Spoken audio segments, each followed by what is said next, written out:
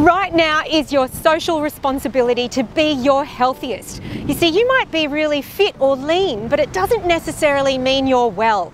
And this is what I teach best. True health is not merely the absence of symptoms or infirmity and disease. It's a state of optimal function on every level, on social, physical and emotional. You might feel alone or lost, but you never really are. And connectivity doesn't give us that. We give it to ourselves. You might think you're powerless, but that's because you're actually so powerful. You only have to feel the essential healthy connection when you appreciate the quality of the air you breathe, the rustling of the leaves, the colour of the clouds, the movement of the sea, and now hear the beating of your heart. And that's healthy connection.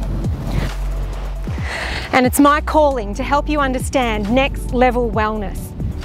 Real connection leads to real wellness. When you take a drug, not only do you mask the symptom, but you're actually blocking micronutrition absorption, the vitamins and minerals that we need to feel really well within our body. And you're also destroying gut health and creating toxicity within the nerve system.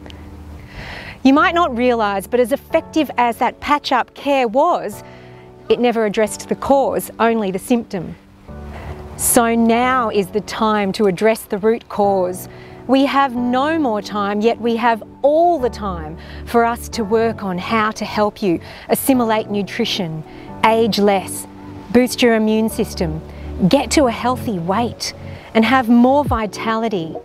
Act out of love, not fear.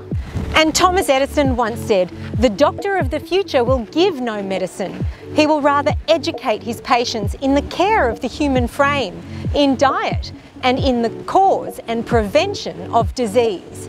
So will you join me for Next Level Wellness?